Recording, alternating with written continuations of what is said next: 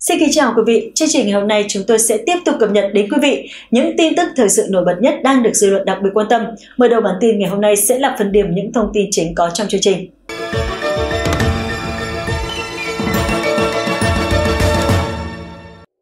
Bản tin lũ lụt Trung Quốc mới nhất ngày 28 tháng 7 năm 2023 Thưa quý vị, ngày hôm qua đại họa lại tiếp tục đổ lên đầu Trung Quốc bằng những trận động đất mạnh lên tới 7,9 độ Richter, kèm theo mưa bão, lũ lụt, lũ quét, sạt lở liên tiếp xảy ra trong những ngày vừa qua, không ngừng nghỉ, khiến hai nơi được cho là xinh đẹp nhất của Trung Quốc bị cuốn trôi dưới dòng sông Dương Tử. Hàng triệu người dân Trung Quốc tháo chạy sang các nước láng giềng để lánh nạn. Cụ thể, theo tờ báo NTD, sáng ngày 28 tháng 7 đưa tin trong hai ngày, hai huyện thuộc thành phố Trang An, tỉnh Tứ Xuyên lần lượt xảy ra 3 trận động đất mạnh 6,1 độ Richter, 4,5 độ Richter, 5,72 độ Richter. Hai trận động đất vào đêm ngày 27 tháng 7 đã khiến 4 người chết do bị đá văng trúng người và 41 người bị thương, 12.722 người đã được di tản khẩn cấp theo tin tức mới nhất tính đến 9 giờ sáng ngày 28 tháng 7, thành phố Trang An ghi nhận 4 người thiệt mạng và 41 người bị thương do động đất tại hai huyện Lô Sơn và Bảo Hưng. Có một người đang trong tình trạng nguy kịch.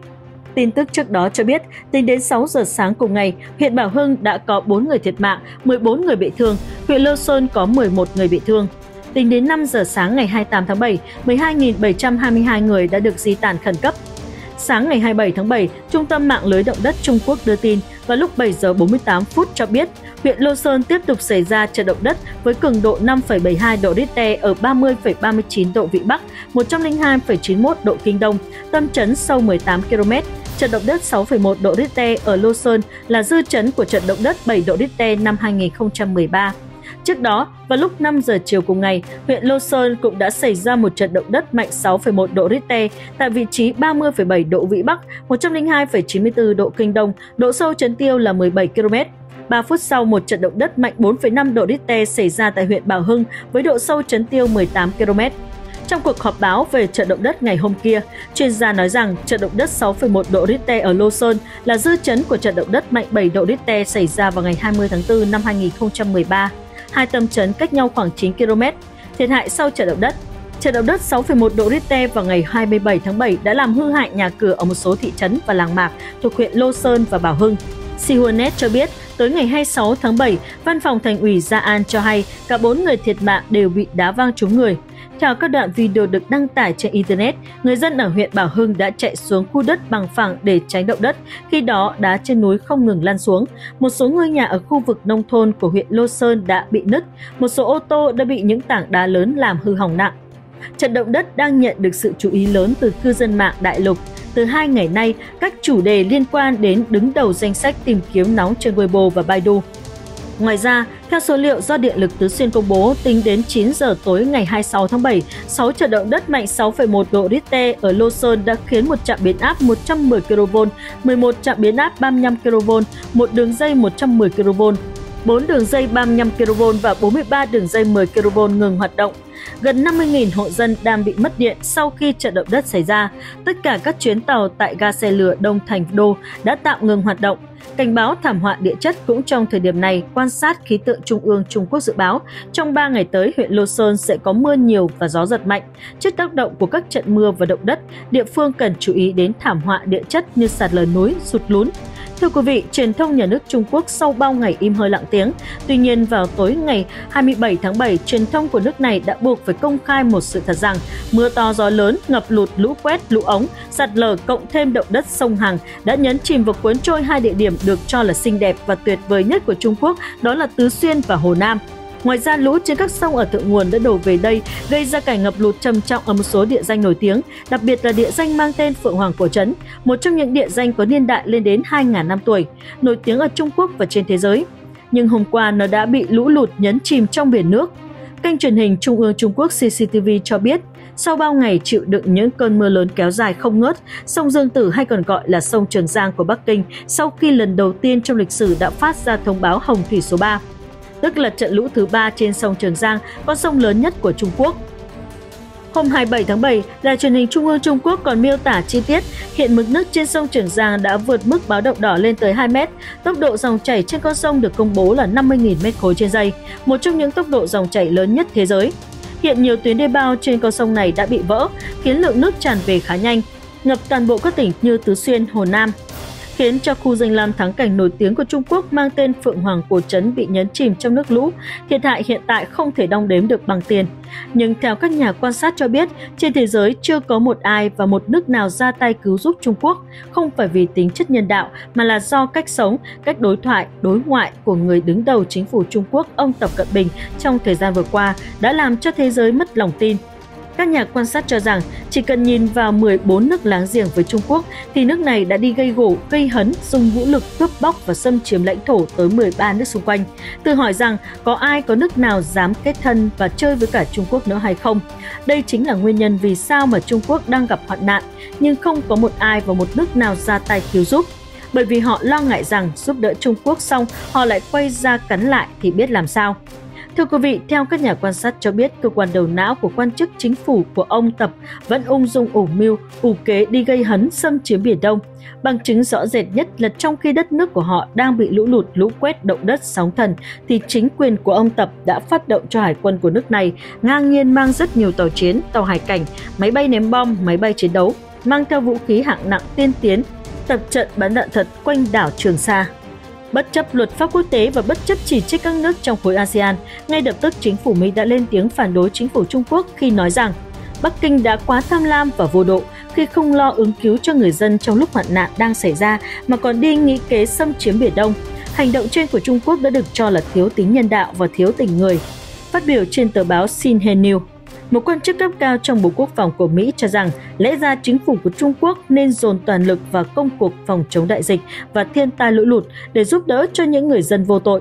Nhưng ở đây chính quyền của ông ta lại không làm điều đó, họ bỏ mặc dân chúng, lũ về, mưa về, họ mặc kệ cả động đất xảy ra thì họ cho xả đập Tam Hiệp, nhấn chìm toàn bộ 26 tỉnh thành phía nam của Trung Quốc. Vậy mà chính quyền của ông ta lại đi ngang nhiên xâm chiếm Biển Đông và đi gây gổ đánh nhau đẫm máu với cả Ấn Độ. Hành động trên quả là không thể chấp nhận và dung tha được. Đây chính là tội ác mà chính quyền ông Tập gây ra. Cho nên bây giờ, trời không dung, đất không tha, mẹ thiên nhiên và ông trời luôn công bằng với cả mọi người khi đã ra tay trừng trị Trung Quốc để bảo vệ thế giới. Hiện tại không một ai và không một nước nào thân thiết với chính quyền của ông Tập cả, bởi vì những điều ông ta gây ra tội lỗi cho thế giới là không thể nào mà tha thứ. Họ chỉ thương tiếc cho 1,4 tỷ người dân của Trung Quốc mà thôi. Thưa quý vị, thông qua tờ báo Hoa Nam, cơ quan công luận của Đảng Cộng sản Trung Quốc cho biết động đất liên tục xảy ra ở thượng nguồn đập Tam Hiệp. Điều này đang làm cho giới chức của Trung Quốc vô cùng lo lắng. Hiện Bắc Kinh đang ăn không ngon ngủ không yên vì thiệt hại thiên tai và dịch bệnh đang tàn phá nặng nề. Báo cáo Trung Quốc trích dẫn lời của một lãnh đạo trong ngành thủy văn của nước này cho biết, trong hai ngày, hai trận động đất có cường độ cao lên đến 8 độ Richter liên tiếp xảy ra tại thành phố Tứ Xuyên và Quý Châu thuộc thượng lưu sông Dương Tử có thể gây ảnh hưởng tiêu cực đến con đập Tam Hiệp. Còn Trung tâm mạng lưới động đất của Trung Quốc mang tên CENC cho biết, trận động đất tại Tứ Xuyên có cường độ 8 độ Richter đã xảy ra vào dạng sáng ở độ sâu 8 km dưới lòng đất. Tiếp đó, một cơn địa chấn mạnh 6 độ Richter đã làm rung chuyển huyện Khánh Dương thuộc tỉnh Quý Châu. Vào trưa ngày 27 tháng 7, lúc 11 giờ 11 phút, được biết hai trận động đất liên tục này đã gây ra sóng thần và mức độ của nó lên đến 40 mét, cao hơn tòa nhà 10 tầng nhấn chìm toàn bộ Tứ Xuyên, Vân Nam, Vũ Hán và một nơi địa danh nổi tiếng của Trung Quốc mang tên Phượng Hoàng Cổ Trấn. Hiện rất nhiều thương tiếc cho khu vực du lịch khét tiếng này của Trung Quốc bởi nó đã tồn tại được 2.000 năm tuổi, nhưng hôm kia nó đã bị nhấn chìm với mực nước sâu khoảng 10 mét. Hiện hiện tượng động đất liên tiếp xảy ra tại thượng nguồn sông Dương Tử, nơi con đập Tam Hiệp được xây trên dòng chảy, đã khiến nhiều người quan chức của Trung Quốc lo ngại rằng nếu tình trạng này còn tái diễn thì một số con đập nhỏ hơn con đập Tam Hiệp ở thượng nguồn sông Dương Tử có nguy cơ bị vỡ và như vậy nó sẽ tạo ra một phản ứng dây chuyền domino khiến cho cân đập Tam Hiệp có thể sụp đổ bất cứ lúc nào. Nếu như nó vỡ, nó sẽ cuốn trôi 2 phần 3 diện tích của Trung Quốc ra ngoài Biển Đông. Tất cả các làng mạc, các thành phố lớn và các nơi sầm uất, trung tâm kinh tế bậc nhất của Trung Quốc sẽ bị san phẳng. Trung Quốc nhiều khả năng sẽ bị xóa sổ ra khỏi bản đồ của thế giới. Như vậy, chính quyền của ông Tập Cận Bình đang rất sốt ruột ở thủ đô Bắc Kinh. Hiện giới chức nước này đang ăn không ngon ngủ không yên. Vì hiện tượng động đất, lũ quét sóng thần, sạt lở xảy ra hầu như toàn bộ 26 tỉnh miền Nam của nước này. Đứng trước những thảm họa nguy hiểm đến như vậy, Trung Quốc đã tiến hành kích hoạt phản ứng chống lũ lụt đập Tam Hiệp.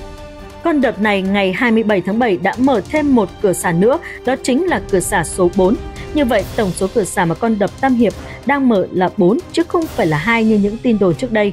truyền thông của Trung Quốc đã ra cảnh báo lưu lượng nước đổ về hồ chứa Tam Hiệp 50.000 m3 trên giây, nhưng sau đó đã phải nhanh chóng sửa lại bởi vì lưu lượng nước đổ vào rất nhanh, đạt mức 54.000 m3 trên giây, một trong những lưu lượng nước trên thế giới chưa từng có trong lịch sử. Tỉnh Hồ Nam đã phát quần áo đón trực thăng, dựng trại lán ở những ngọn núi cao.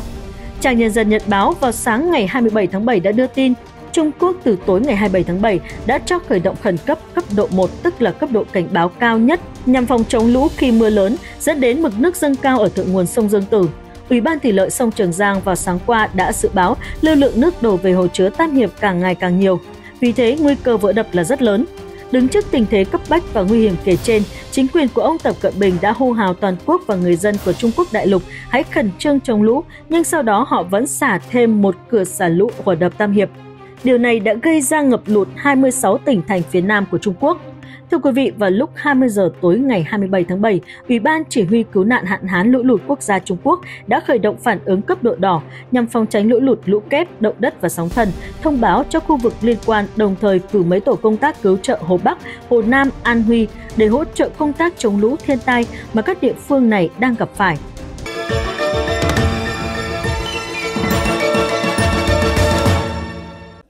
Những thông tin vừa rồi cũng đã kết thúc bản tin thời sự tổng hợp ngày hôm nay. Chúng tôi sẽ tiếp tục cập nhật những thông tin mới nhất trong những bản tin tiếp theo. Quý vị hãy đăng ký kênh tin mới để theo dõi. Còn bây giờ, xin chào và hẹn gặp lại.